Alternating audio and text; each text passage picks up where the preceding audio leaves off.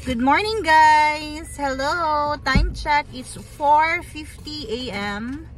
So pupunta na naman tayo ngayon sa Blue Lake, Manitoba. So, sabayan nyo kami guys para makita nyo naman kung ano yung lugar. First time din namin, right Jello? Yeah. Okay, see you! Hi Daddy! Hello. Good morning! Good morning.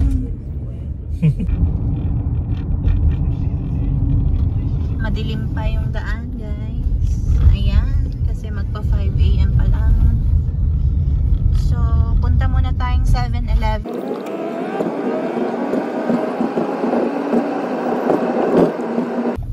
Seven Eleven.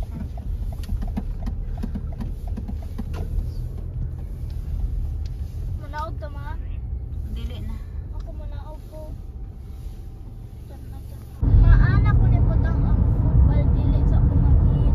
Di na si mga bay. Let's proceed. Tumawag na yung mga kasama namin ng aga. Bawal malit. Bawal malit. Malapit na kami. Yeah, we did already last night.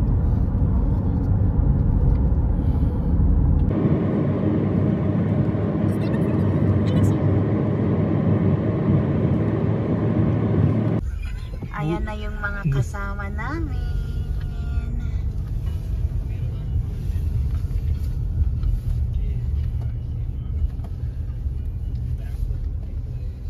Yan na sila. Yung three cars na yan, yan yung aming mga kasama. Okay, so let's go. At konting kantahan muna tayo sa car guys dahil may bagong composition si Andy na song entitled Amigo Amiga. Amigo Okay, sabayan nyo kami guys.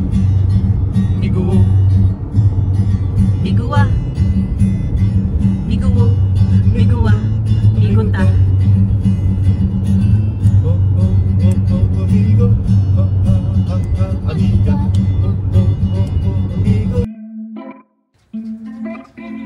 Putulin muna natin saglit yung ating concert guys para mapakita ko naman sa inyo yung view papuntang Blue Lake Provincial Park. So, travel tayo ng mga 3 hours at sasaglit muna tayo dito sa Welcome to Ontario para magpa-picture. So, ayan na. Aura. 3, 2, 1. Smile. Sobrang saya ng lahat.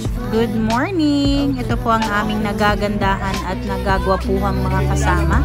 Papunta sa Blue Lake, Manitoba at super excited na kaming lahat, guys.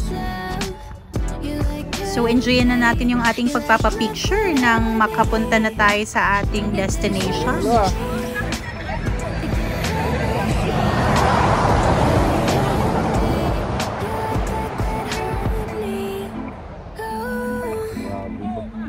Eto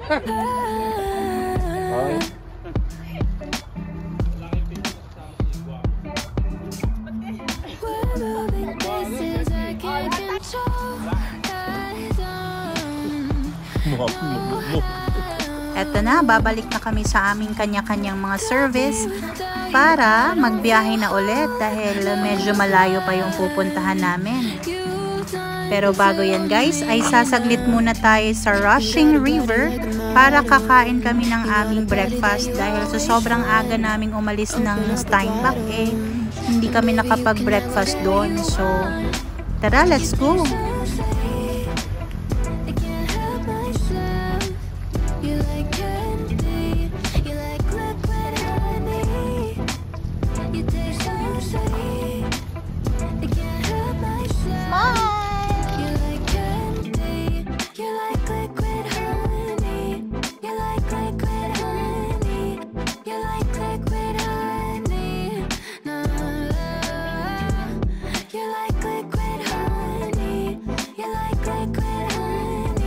Eto na at papasok na tayo sa Rushing River. So, welcome to Rushing River. Ito na, enjoy natin yung ating pagbisita dito. At nang makita naman natin kung gaano kaganda yung rushing river na sinasabi nila. So, see you in a while.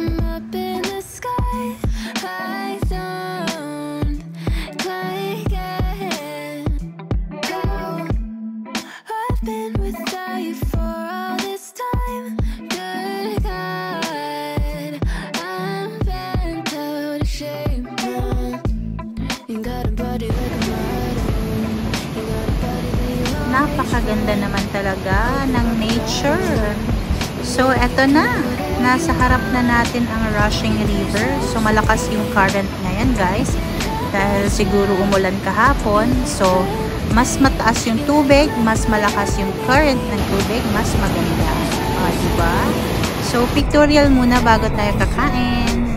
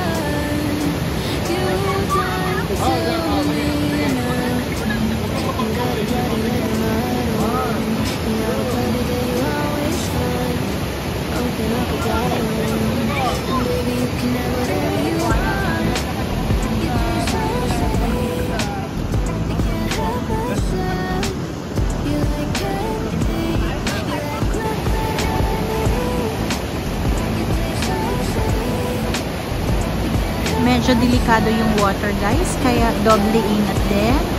At naglagay naman sila dito ng mga danger signs. So, ingat-ingat lang, baka mahulog tayo. Okay lang kung marunong tayong lumangoy. So, stay safe!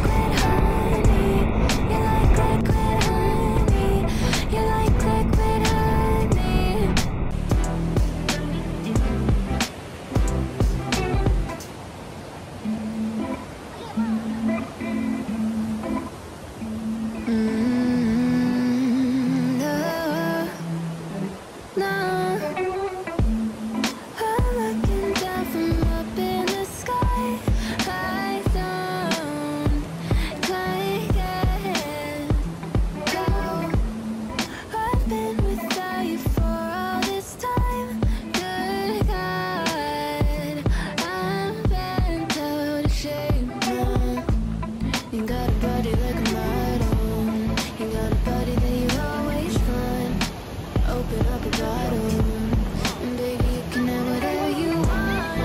Na nga pala kaming kumain guys. Sorry hindi ko na na video kasi gutom na gutom na yung videographer nyo. So hindi ko na napakita sa inyo kung ano yung mga kinain namin. Pasensya na guys. Punta na tayo sa Blue Lake Provincial Park. So ito na yung pinakahihintay natin. Tara na!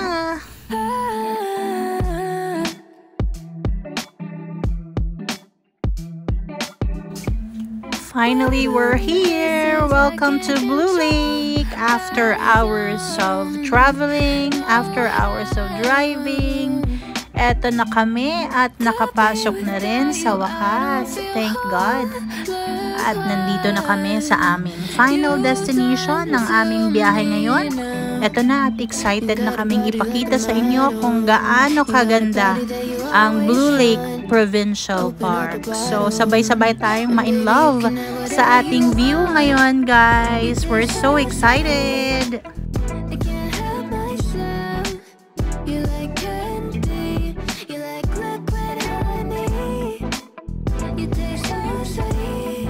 We're here! Ito na ang kanilang beach. So, guys, pagpunta mo pa lang dito, mapapa wow ka na lang. As in, super duper wow.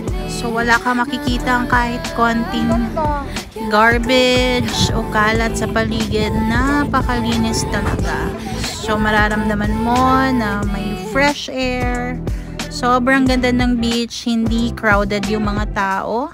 Dahil medyo malayo ang lugar kaya konti lang yung tao. Napakaganda talaga dito guys. This is a must visit place sa inyong mga pamilya, kaibigan, sa inyong mga mahal sa buhay. So, alina, bisita na din kayo dito sa Blue Lake Provincial Park. It's a three, more than 3 hours away if you are from Steinbach, Manitoba. So, mas maganda dito pag nag-overnight stay kayo or ilang days yung stay nyo para masulit naman yung pagbisita nyo sa place nila.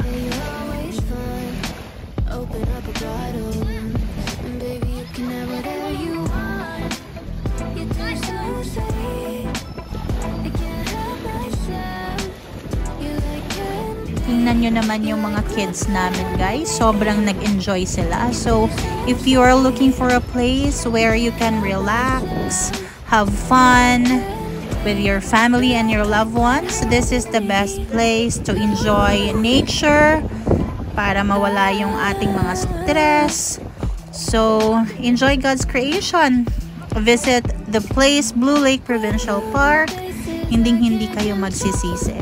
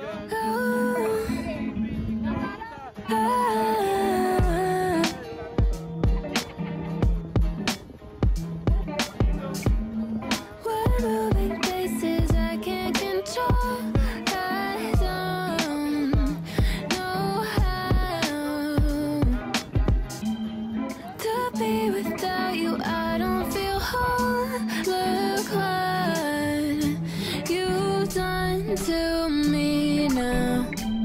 You got a body like a model. You got a body that you always find. Open up a bottle, and baby you can have whatever you want.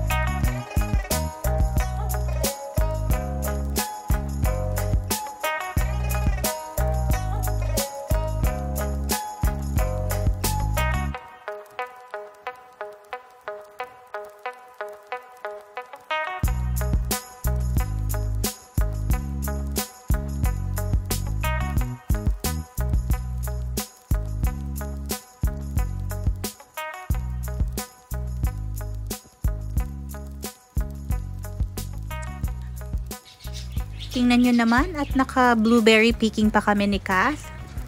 It's a wild blueberries. So, sobrang tamis. At ang dami nang nakuha namin.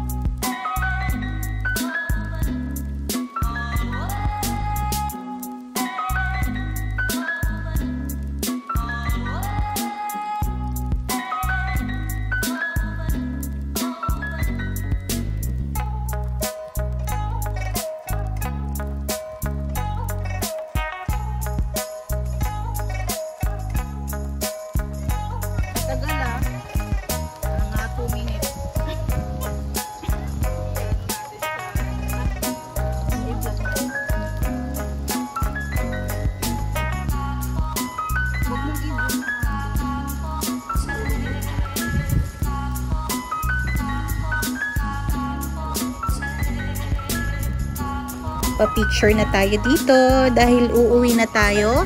Hindi pwedeng hindi tayo magpa-picture muna dito sa may signage ng Blue Lake. Kaya okay na, picture per family.